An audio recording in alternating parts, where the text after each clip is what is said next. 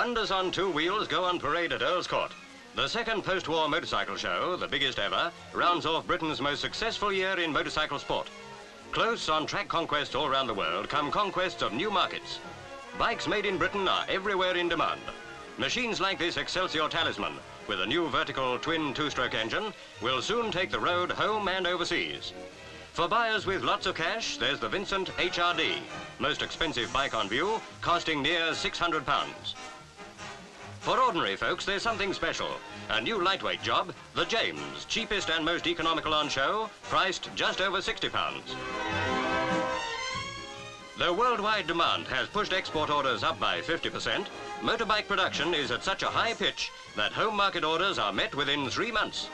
And the two-wheeled wonders are not the only ones that lead the world. The three-wheeled Bond minicar has a mighty selling attraction. It does 100 miles to the gallon. With models like these, British manufacturers are sure to maintain the record of one of the nation's most successful industries.